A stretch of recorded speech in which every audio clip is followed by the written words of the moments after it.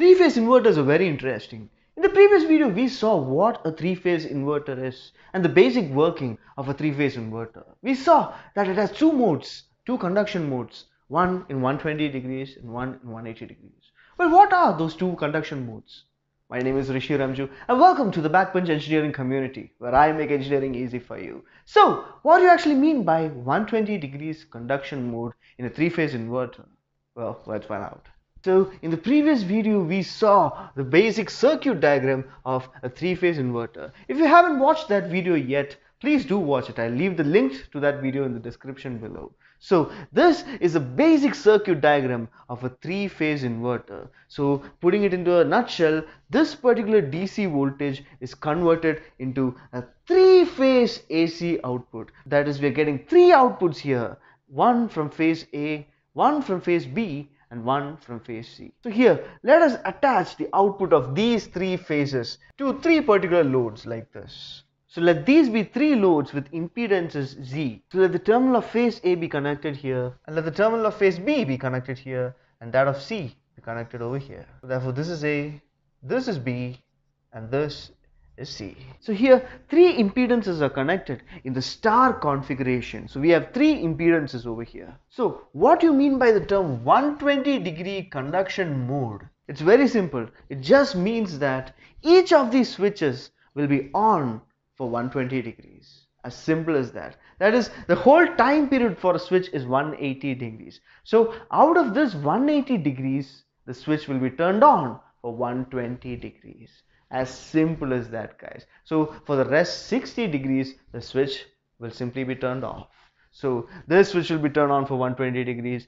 and then this switch will be turned on for 120 degrees. And that keeps alternating between each other. As simple as that guys. That is what you refer to as a 120 degree conduction mode for a three-phase inverter. So the SCR will be conducting for 120 degrees. So here these switches, we are using SCRs as these switches as discussed in the previous video. So when we give a triggering pulse to one of the gates of this SCR, this SCR becomes conducting. So that is how we turn on and turn off these particular SCRs. So in the case of 120 degree conduction mode, each of these SCRs will be conducting for 120 degrees. So here these SCRs are numbered in the following format. This is T1, this is T3, and this is T5 and this is T2 and this is T4 and this is T6.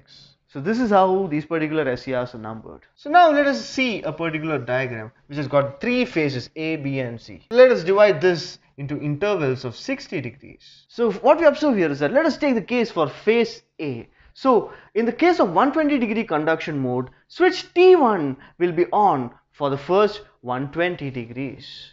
So for the first 120 degrees, the switch T1 will be turned on and therefore for the rest 60 degrees over here, it will be turned off. Nothing would pass. So only through this 120 degrees T1 would be conducting.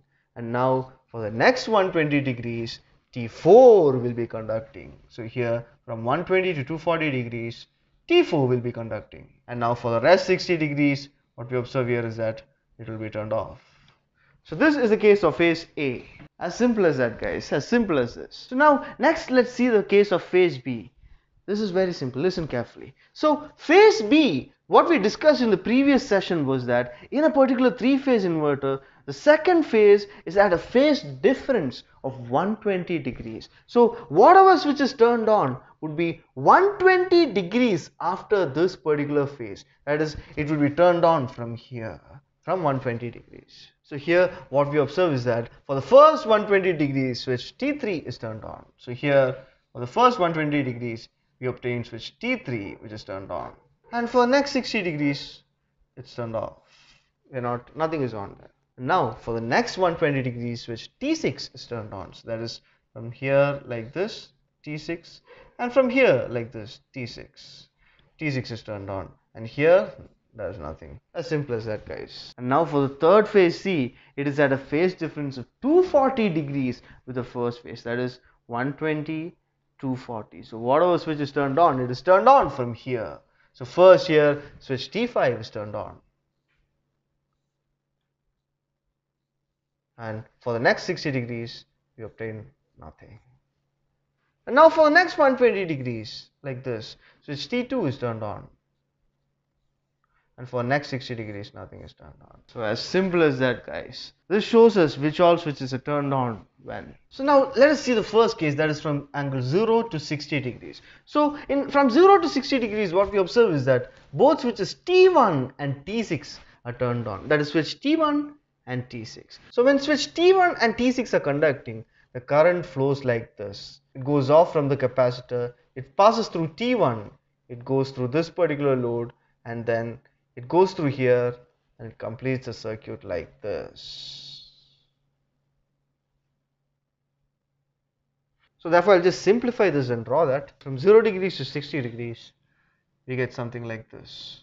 Because here the positive value of VDS is connected to A, positive value of VDS is connected to A and the negative value of VDS as simple as that guys. So here this is neutral so that is N which I have written here. So what VAN is given as VAN is equal to this voltage source VDS into this particular impedance Z by the total impedance Z plus Z which is equal to VDS into Z by 2Z which is equal to VDS by 2 that is VAN. Now what VBN gives us is that VBN is equal to minus VDS into Z divided by Z plus Z which is equal to minus VDS by 2 as simple as that. So this is the case from 0 degrees to 60 degrees. So similarly we can find the value for 60 degrees to 120 degrees. 120 to 180 180 to 240 240 to 300 300 to 60 so i'll just write those values down.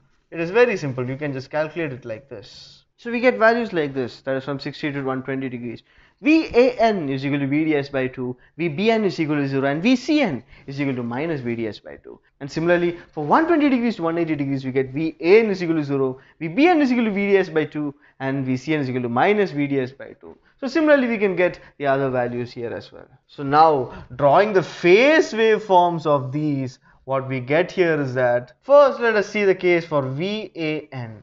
So for VAN for 0 to 60 degrees it is VDS by 2 and from 60 to 120 degrees it is also VDS by 2 but from 120 degrees to 180 degree VAN is equal to 0 and if we further find the values for 180 degrees to 240 degrees it would be minus VDS by 2 and minus VDS by 2 and again for 360 degrees it is 0 so this is the case for VAN now let us see the case for VBN so taking VBN, what we observe here is that for 0 to 60 degrees, VBN is equal to minus VDS by 2. So therefore here it is minus VDS by 2 and from 60 to 120 degrees it is 0 and here from 120 to 180 it is plus VDS by 2. So guys therefore this is a basic pattern.